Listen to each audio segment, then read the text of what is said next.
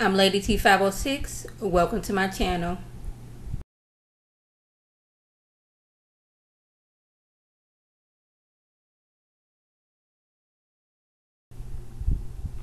Hello, everyone's everyone's. I am here for Manifest Season 1, Episode 3. If you're new to my channel, welcome. Y'all, I'm going to try to keep up with this show, but y'all don't seem to be watching my videos lately. I don't know what it is. I know Manifest is not everybody's cup of tea, but I love a good mystery. We trying to figure out what did happen to these people, what's going on with them. Something about that little boy, I think he going to be the key to everything that happened. I don't know why. I just always think it's always the child. He's the key. But anyways, the family they are on edge because the lady from the last episode who was going and doing the interview, she was killed. So now they're thinking, was it because she was doing the interviews that got her killed? Remember, we had that crazy lady that went up to the little boy, was saying he's the second coming. You know, we on edge right now. We don't want to know what to do then the doctor lady, she calls and says there was a a protein marker found in the little boy's blood that wasn't there before. They got on before like five years ago and it's not caused by the cancer and she just thinks that's weird. Like she's been keeping daddy all informed. But i was like i don't know if like the government is watching everything she's doing because you know stuff like it get you paranoid. Like, does the gov- how did the government doing that? Like when we got that message last week, like that was kind of creepy. They was able to access our phone that easily. But I always think that somebody's, you know, looking. You always gotta look over your shoulder, like who's surveilling who. I've always been that kind of person. I'm a very suspicious person. Get it from my mama. I'm not even gonna lie, but you know she been keeping daddy informed.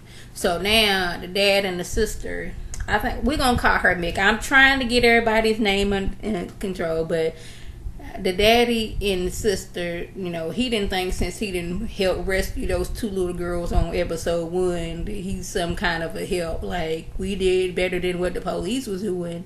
So let's go over to the house and figure out what was going on. And the husband said that the only thing that was missing was this gold necklace that he had given the wife.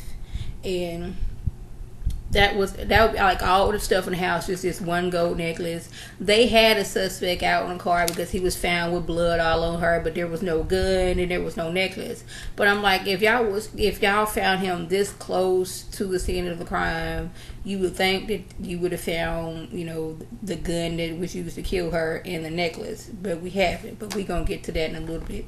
But the nsa shows up and sees them and it's like did you know that they had you know was acquaintances with the lady that was killed and posed like no, she didn't tell me that. Now, mind you, the sister, she's on the police force, but that is not her jurisdiction. But now they wondering why is the NSA? Yes, sure, this woman was on the you know plane that disappeared for five and a half years, but why are they so concerned about her body? That's the question. I was like, I didn't think about that. Y'all said that, but you know, they leave, come back, you know, talk to the husband on his own. And he says once Kelly came back, she was a totally different person. She thought that they had too big of a house, that she wanted to downsize. I guess she wanted to get a tiny house. They was living in, we just living too fancy out here. We we spend too much money. We just we too fancy. And she felt that they was under surveillance because she was getting all these when she get on the phone. I'm assuming they had a landline my grandma still has a landline. I guess that could come in handy. Like we just go pause for the calls one time. I th- this was like in 2004. Me and my mama we had landlines at the time. We had cell phones as well, but like the um, transformer outside of our house or in our know area, it was like right by our house, blue and all the electricity just went out in the whole neighborhood. Now, mind you, this is like July, so you know it was smoking hot outside, and we couldn't figure out what to do. Like we, okay, we need to go to my grandma's house, but you know, most people at the time had cordless phone. Now, thank, thankfully, my mama still had that one old phone with the little curl to it. You know, one of them phones you had to pick up and you could just that phone. I can't think what it's called right now, but we still have one of those, you know, to make all the arrangements so we can go to my grandma's house. But anyways, I'm assuming they still had a landline. She kept on hearing all kind of like on the phone. On top of that, there was a black car that been like parked outside, so she was under surveillance, and you know she was a little bit scared. And the maid also said that you know she went to the mall to get her hair done and she came up all bruised talking about some she had felt falling down. Well, they was like they found that to be odd. Her whole behavior changed. You know, she went from you know I I love all the fanciness that what we have to coming back to like you know what we have entirely too much. This house is too big for just the two of us. Uh uh The sister at one point she goes to visit her friend's parents now she, you know, it's been five and a half years, and at this time, her friend, she was driving the car. She, the sister was driving. Her name was Mick. Gotta say that. She was driving the car. Her and her friend was drunk, and they got an accident, and the friend died. The last time she see them, she tried to go over there while they was grieving. They was like, "How dare you show up when you was responsible for our daughter's death? I don't want to see you right now." Excuse the line people outside. So she goes over there now, and the mom's like, "Oh, hey girls, happy to see you. Look at these cartons I got." And she was like, you know, kind of confused. The mother has Alzheimer's. The father's like, "I just tell her the daughter's going down to the store because it's easier than seeing her heart break every 15 minutes." No, now at this point, you know, she's realized, okay, that mama has Alzheimer's, and now she's like just thinking like, what can I do to just like clear my mind and get back on my right self because I forgot what the thing was like own your truth or something like that. That was the thing. Like Kelly, the lady who was doing the interview, she kept on saying that over and over. She now Mick is hearing that over and over. So she goes over to her friend's parents' house again, and the daddy's freaked out. Like, look here, I I've stepped out for ten minutes, and now my wife is gone. The police told me to stay here in case she comes back, but you take my car keys and you go find my wife. But she hasn't driven since that accident. One, because she's been gone for five and a half years, and two, I think her license was taken away for some reason.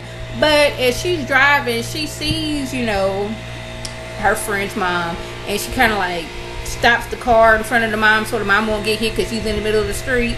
And she looks over, and the maid has the Kelly's necklace just riding shotgun in her car.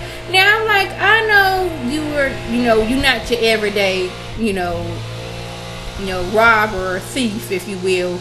But I would think that you would have more sense than having this necklace riding shotgun with you. It's just what I'm thinking. Now I apologize if my audio video is not on point. I am on my webcam doing videos on my phone is just not the business because I can hear some kind of rambling in the background. And I would like to edit my videos to make it look a little more pretty. But anyway, back to this.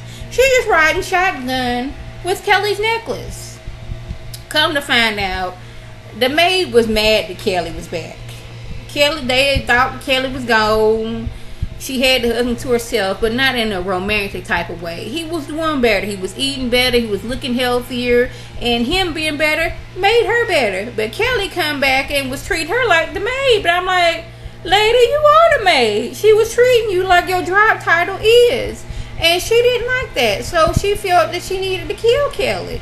She didn't mind some young man who was all about, you know, you guys are special that y'all don't come back that he was gonna go to jail for the crime. She was just all about I need to get rid of Kelly because this man is a good man. Come to find out that Kelly I'm going back up. Kelly and her husband they owned a mall and but they were some slumlords before you know the whole her missing for five and a half years and they only had illegals owning like different businesses inside the mall like I know you are here illegally and I'm to charge you 40% more from, you know, running your stuff inside my mall. They was they was some ruthless people. So, you know, she had went to the mall to get her hair done or, or get her hair done.